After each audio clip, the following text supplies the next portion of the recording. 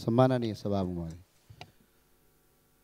टुसा पलाउन टुसा उम्रेर कोपिला पलाउन नपाउँदै चुडिदियौ संसारभर फरफराउन लागेको चन्द्र सूर्य झन्डा रोकिदियौ कि त भन तिम्रो रगतमा वीर तिम्रो शरीरमा वीर नेपाली रगत होइन पानी बग्छ यदि सरकार सरकार जस्तो भए विदेशीको लम्पसारवादी नभए आज हाम्रा खेलाडीलाई संसारमा कसले रोक्न सक्छ? सम्माननीय सभामुख महोदय यो विषयवस्तु म किन उठाउँदैछु भने संसारका सबभन्दा ठुला दुईवटा गेम हुन्छन्।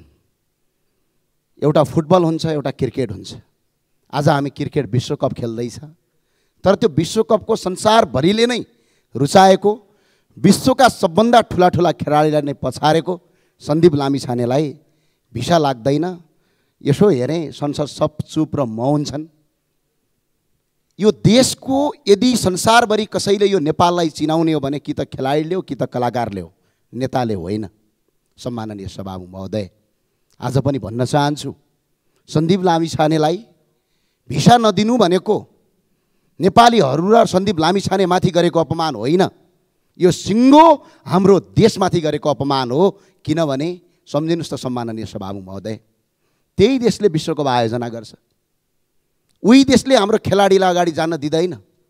हामीले आज के का आधारमा परराष्ट्र नीति बनाएका छौँ? म आज परराष्ट्र मन्त्रीलाई सभामुख मार्फत सोध्न चाहन्छु। परराष्ट्र नीति हामी पञ्चशीलका आधारमा बनाएको हो कि पार्टीको कार्यकर्ताको मेनिफेस्टोको आधारमा हामीले परराष्ट्र नीति बनाएको? पञ्चशीलको आधारमा आज अमेरिका र नेपालको कूटनीतिक सम्बन्ध भएको झन्डै छहत्तर वर्ष भएको छ सम्माननीय सभामुख महोदय। यसको पहिलो एउटा पञ्चशीलका आधारको म दुई नम्बर बुदा पढेर सुनाउँछु।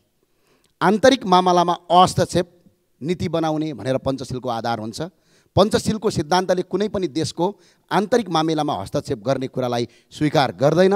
हरेक देशको आफ्नै सार्वभौमिकता हुने भएकाले उनीहरू आफ्नो देशको शासन पद्धति र निर्णय प्रक्रियामा स्वतन्त्र हुन्छन्। यसले देशको आन्तरिक मामिला अहस्तक्षेपको नीति अङ्गीकार गर्दछ भनेको छ। अब सुन्नु सम्माननीय सभामुख महोदय। हाम्रो उच्च अदालतले निर्दोष ठहर गर्छ क्यानले स्वीकृत गर्छ आइसिसीले स्वीकृत गर्छ अनि त्यो खेलाडीलाई भिसा लाग्दैन अनि प्रधानमन्त्री र मन्त्री झन्डा हल्लाएर हिँड्न लाज लाग्दैन। आज देशको अवस्था यो अवस्था पुगेको छ सम्माननीय सभामुख महोदय। अब लेखौँ अगाडि राखौँ यहाँ अगाडि बोर्डमा मन्त्रीले गर्न हुने काम र गर्न नहुने काम। के मन्त्रीले स्टन्डबाज मात्र गर्ने हो? मन्त्रीले गर्ने काम के हो? अर्को कुरा सुनाउन चाहन्छु सम्माननीय सभामुख महोदय। तिन नम्बर बुदामा पञ्चशीलताको सिद्धान्तमा लेखेको छ शान्तिपूर्ण सह अस्तित्व स्वीकार गर्ने भनेको छ। यस मान्यताले कुनै पनि एक देशले अर्को देशको अस्तित्वलाई स्वीकार गर्दछ। यस सिद्धान्तको दृष्टिमा देश धनी हुनु वा गरिब हुनु वा ठुलो हुनु वा सानो हुनु विकसित हुनु वा अविकसित हुनुले सह अस्तित्वको सिद्धान्तमाथि कुनै असर गर्दैन। हरेक देशले अर्को देशमाथि शान्तिपूर्ण सह अस्तित्वको आधारमा सम्बन्ध स्थापित गर्छ भनेर भनेको छ। के आज हाम्रो सम्बन्ध स्थापित बन्यो?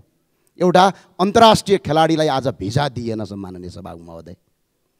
यो देशको पहिचान मेटिँदैछ। आज सिंहलाई खोरमा राखेर शिकार गर्न पठाइँदैछ नेपालको बेइज्जत गरिँदैछ नेपालको अस्तित्व खतरामा पर्दैछ। आज त सबै सांसदले बोल्नुहुन्छ होला सोधेको थिएँ मैले। सब मौन। यो देश त्यो भएर खेलकुद मन्त्रालय किन राख्ने सम्माननीय सभामुख महोदय?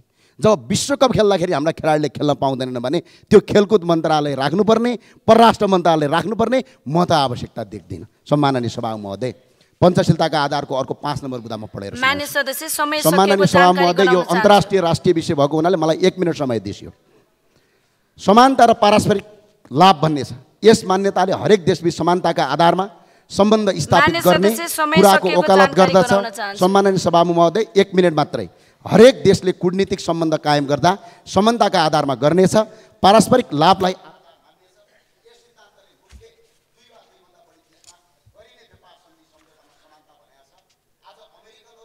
माननीय श्री शेरबहादुर कुँवर समय तिन